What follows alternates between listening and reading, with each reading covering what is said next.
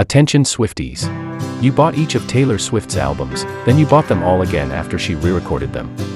You spent thousands of dollars and traveled hundreds of miles to attend her latest concert tour. Then you went to the movie theaters to watch the whole thing again. Twice.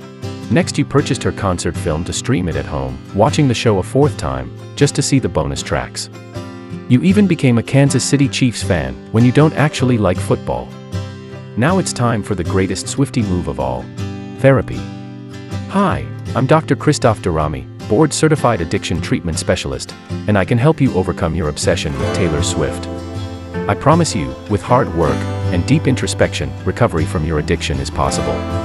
At Swiftline.com, my colleagues trained in exposure therapy will gradually introduce you to other activities and artists, allowing you to experience a richer, more meaningful life. Call today to begin your healing journey and never, ever, ever suffer again.